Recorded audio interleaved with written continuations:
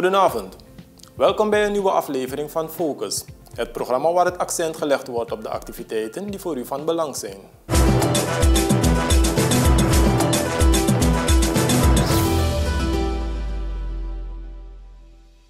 Vandaag in Focus. Uitstroom neonatale verpleegkundigen groter dan instroom. Regering stelt clusterteam ministers aan voor dialoog met stakeholders. Lijfstraffen tegen kinderen moeten tot het verleden gaan behoren. Uitbetalen sociale uitkeringen verloopt landelijk succesvol. En regering schept nieuwe condities in BASO-dienstverlening.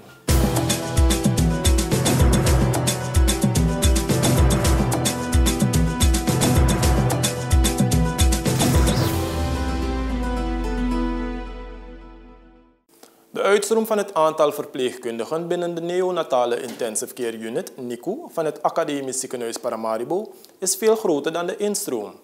Minister Amar Ramadien van Volksgezondheid zegt dat er sprake is van een planningsprobleem. De regering heeft in overleg met de artsen en directie van het AZP besloten NICU-personeel uit het buitenland te halen. Zo informeerde de bewindsman de Nationale Assemblée op dinsdag 19 juli 2022.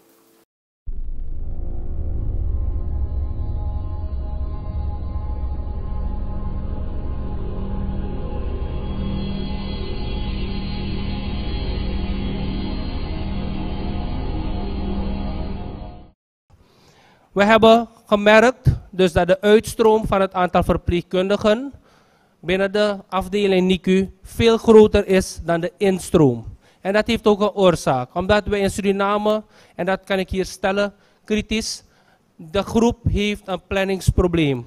We hebben de eerste verpleegkundige opleiding, kinderverpleegkundige opleiding gehad in 1985. Toen werd er na 27 jaren in 2012 een uh, in initiatief van het Diakonesse Ziekenhuis ook een kinderverpleegkundige opleiding gestart. En nu is het AZP met de derde groep bezig. Het COVAP, dat is de Centrale Opleiding voor Verpleegkundigen en aanverwante beroepen, is in januari 2022 met ondersteuning van de regering wederom en een boost van 375.000 SRD gestart met de opleiding kinderverpleegkunde. duurt vier jaren, drie jaren met 18 maanden NICU-opleiding. Dus het is duidelijk dat wij op korte termijn aan lokale aanwas niet genoeg verpleegkundigen zullen hebben om de afdeling te versterken. Het is heel belangrijk, voorzitter en geachte leden, geacht college, dat het dus enkele spoedoplossingen gebracht moeten worden. En dat is de vorige week besproken met de kinderartsen en de directie van het academisch ziekenhuis, waar de NICU is, en er zijn een paar besluiten genomen. En op dit moment kan ik aangeven dat de besluiten die genomen zijn, en er zijn ook al wat lichtpunten, dat wij met spoed een aantal NICU-verpleegkundigen uit het buitenland willen aantrekken. De target is gesteld op basis van de behoefte. Aangegeven door de kinderartsen is dat 10. Dus deze groep, daar wordt er nu naarstig naar gezocht. Er zijn inmiddels al netwerken aangeboord en contacten gelegd. Verder hebben we gevraagd vanuit de regering om te kijken naar de aanpassing van een toelage voor de NICU-verpleegkundigen in dit geval. Maar een veel duurzamere oplossing is uiteraard het kijken naar mogelijkheden voor de integrale invoer van een nieuwe loonreeks voor de zorgsector, ofwel een sectorbrede CAO.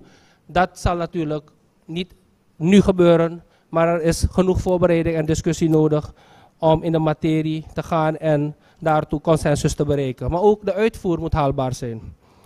En we hebben dus ook begrepen dat bij de opleidingen die op dit moment lopen, vooral bij COVAP, dat er getracht wordt om uh, de module acute zorg bij kinderen versneld in te voeren, zodat we in ieder geval uh, de aanwas en de aanvoer naar die afdeling kunnen versnellen.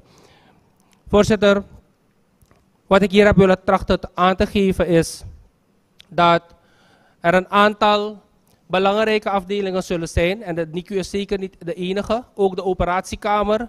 Daar hebben we gemerkt dat er een aantal assistenten vertrokken zijn. Maar we merken dus dat de aanvoer van algemeen verpleegkundigen redelijk te noemen is. We kijken naar de, de instroom van het aantal algemene verpleegkundigen is redelijk. Maar vanwege het ontberen en het ontbreken van gespecialiseerde opleidingen welke structureel niet in place zijn in Suriname, is de uitdaging enorm groot om die gespecialiseerde afdelingen op tijd en goed te bemannen.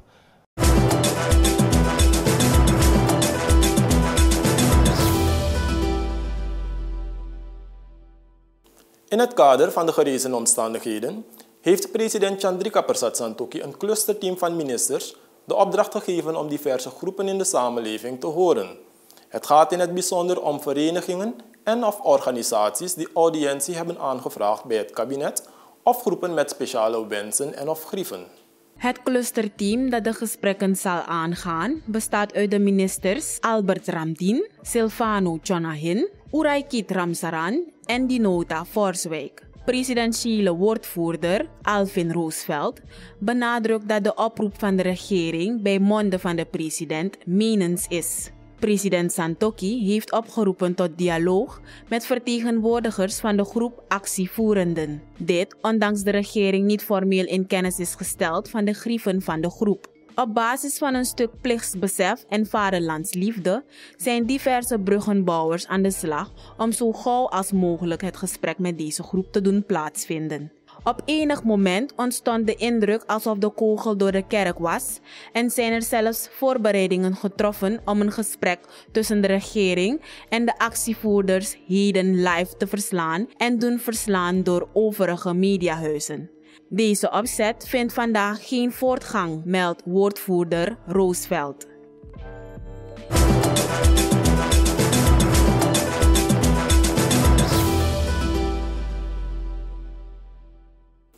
Lijfstraffen tegen kinderen moeten tot het verleden gaan behoren.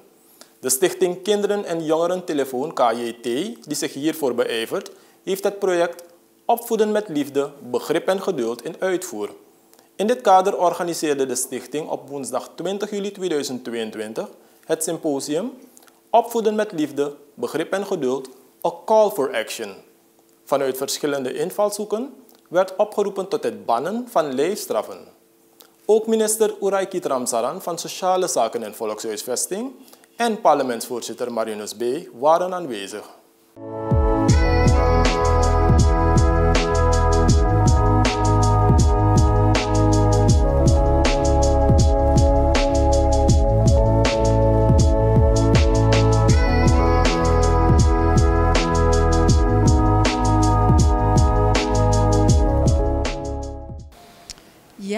Straffen toedienen in uh, de opvoeding, uh, omwille van disciplineren van kinderen.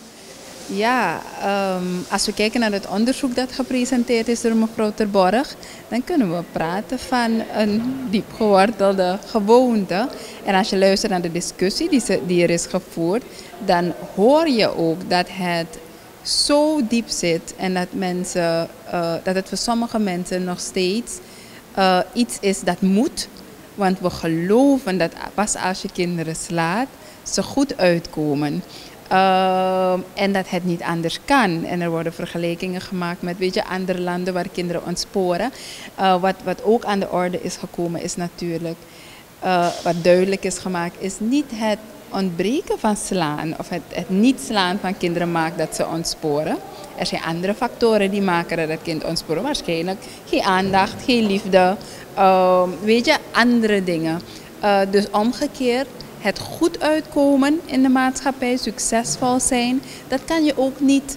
Um, ja, daar kan je ook geen relatie mee leggen dat omdat je bent geslagen ben je goed uitgekomen. We hebben mensen in de zaal, we hebben voorbeelden, testimonials die aangeven dat mensen evenzeer goed uitkomen en succesvol zijn als ze niet geslagen zijn. Het voordeel is wel uh, uh, van het niet slaan, dat dat maakt dat de relatie tussen die ouder en dat kind beter is. En dat het kind geen, geen, geen dingen als onzekerheid en, en angsten ontwikkelt. Dus als je het op de weegschaal zet, dan blijkt uit uh, het panel en alles wat ze hebben gepresenteerd, dat het opvoeden zonder slaan meer voordelen heeft.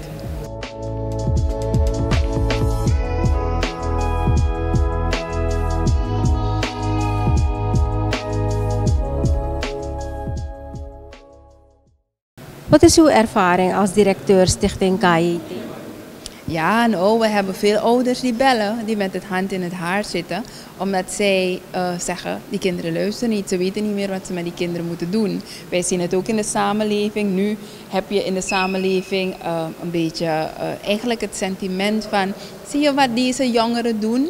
We moeten, het komt doordat we vrijer opvoeden en niet slaan. Nou, ik denk dat we een gesprek moeten gaan hebben met die jongeren om te horen wat er aan de hand is. Want wat wij aan de telefoon horen en wat, wat wetenschappers zien en psychologen zien, is dat juist door het slaan kinderen zich verwijderen van hun ouders. Ze voelen zich onbegrepen. Ze, ze hebben pijn. En wat maakt dat een van de testimonials, een van de personen die hier zit en zegt ik ben geslagen, zegt ik ben uit huis gegaan. Ik ben een dag naar school gegaan en ik had ingepakt en ik dacht, dit stopt vandaag. Dit is de laatste keer dat ik geslagen word.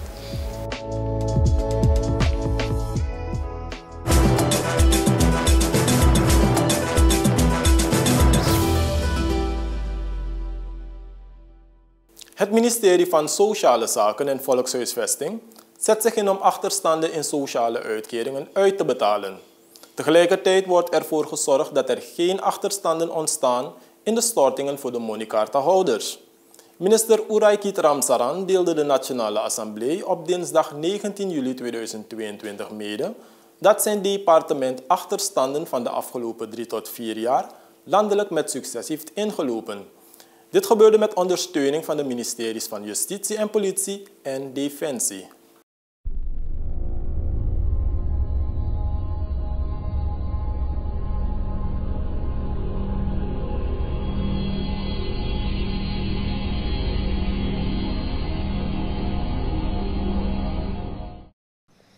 Waarom ik dit aanhaal, voorzitter, ten aanzien van de uitkeringen?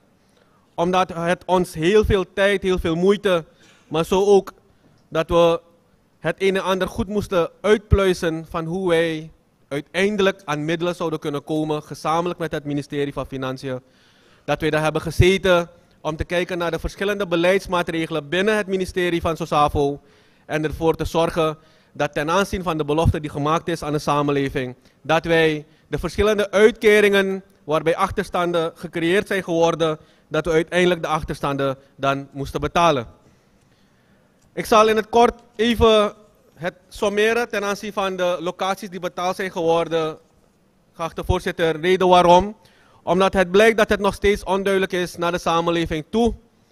Dat wij landelijk de verschillende uitbetalingen doen, apart van de zaken, de bedragen die men via Monicarta ontvangen waarbij wij altijd ernaar pleiten, ernaar werken en ervoor zorgen dat er geen achterstand is ten aanzien van de stortingen naar de verschillende Monicarta uh, ontvangers.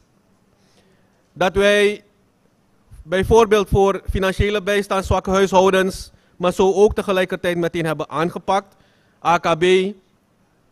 We van start zijn gegaan, al reeds Zoals beloofd in uw geachte college, voor eind 2021 met de betalingen van de verschillende jaren. En dan heb ik het over 2019, uitbetaling voor zwakke huishoudens, uitbetaling voor AKB-achterstanden in de miljoenen, maar zo ook voor degenen in het binnenland die de uitkering voor financiële bijstand, mensen met een beperking, ook nog niet hebben ontvangen. Dat we Zuid-Suriname, te weten Kwamala Samutu, als eerst hebben aangedaan, Tipu, Kuruni daar. Verder hebben we ook nog Brokopondo aangedaan, waarbij 2019, 2020, 2021, zelfs tot 2022 we het succesvol hebben kunnen afronden dat de gebieden deze vier jaren meteen in één keer heeft kunnen ontvangen. We hebben zelfs hulp moeten vragen vanuit Juspol, vanuit Defensie, omdat het om grote bedragen gaat dat men door deze jaren heen dan moest ontvangen en waarbij wij in één keer dat hebben moeten inhalen. Marowijnen hebben ook afgerond we hebben Saramaka aangedaan. We hebben Paramaribo aangedaan. Wanika, Para, Nikeri, Koroni, Sipaliwini, Komowene, Kabalebo. En nu zijn we ook bezig met de up-to-date betalingen. Dat is voor 2022, waarbij enkele gebieden nog niet hebben ontvangen. Waarbij Brokopondo momenteel de ronde krijgt en dat vandaag de nabetaling dan plaatsvindt.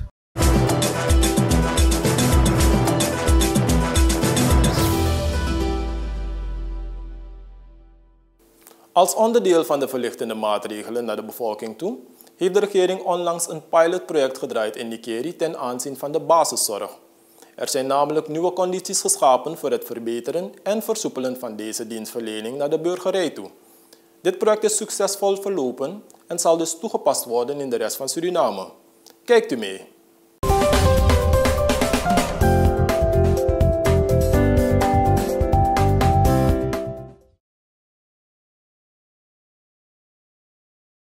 De regering van Suriname heeft enkele besluiten genomen met betrekking tot versoepeling, toekenning, premiesubsidie voor de basiszorgverzekering.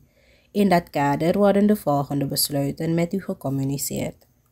Om de dienstverlening efficiënter aan te bieden en verder te decentraliseren, zal er bij elk SZF-kantoor en grote ziekeninrichting van het SZF een SOSAFO basiszorgbalie worden ingesteld.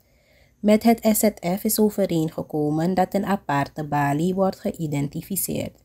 Deze balie en diensten zijn expliciet voor de bijzondere gevallen. Bij deze SOSAFO basiszorgbalie kunnen de bijzondere gevallen op één locatie hun aanvraag indienen, goedkeuring krijgen en hun kaart ontvangen. Onder de groep bijzondere gevallen wordt verstaan 0 tot 16-jarigen, 60-plussers, mensen met een beperking, zwangere vrouwen, mensen met chronische ziekte, dus arbeidsongeschikt en binnenlandbewoners. Voor de groep 0 tot 16-jarigen dienen de volgende documenten overlegd te worden. Gezinsfamilieboek en ID-kaart van de moeder of vader. De verzekering wordt voor vier jaren aangemaakt. De groep 60-plussers hoeft alleen met hun ID-kaart te komen. De verzekering wordt voor vier jaren aangemaakt. Mensen met een beperking hebben de volgende documenten nodig: ID-kaart en verklaring van de huisarts of financiële bijstandbeschikking of handkaart. De verzekering wordt voor vier jaren aangemaakt. Voor personen die lijden aan een chronische ziekte en dus arbeidsongeschikt zijn, dienen de volgende documenten mee te nemen. ID-kaart en verklaring van de huisarts. De verzekering wordt voor vier jaar aangemaakt. Voor de categorie binnenlandbewoners is alleen de ID-kaart nodig. De verzekering wordt voor vier jaren aangemaakt. Voor de categorie zwangeren zijn de volgende documenten nodig. ID-kaart en labbewijs. De verzekering wordt voor twee jaar aangemaakt, post- en prenatale periode. Voor de categorie studenten van 17 tot 25 jaar de volgende documenten. ID-kaart en schoolverklaring of studentenpas. De verzekering wordt voor twee jaar aangemaakt. Voor personen in de leeftijdsgroep 17 tot 59 jaar geldt dat aanvragen geschieden via de basiszorgkantoren conform de vastgestelde criteria op het aanvraagformulier. Tot deze categorie behoren onder andere de zwakke huishoudens. De verzekering wordt voor twee jaar aangemaakt. Elk zwak huishouden en persoon met een beperking die voorkomt in het bestand van het ministerie van Sociale Zaken en Volkshuisvesting zal in aanmerking komen voor premiesubsidie.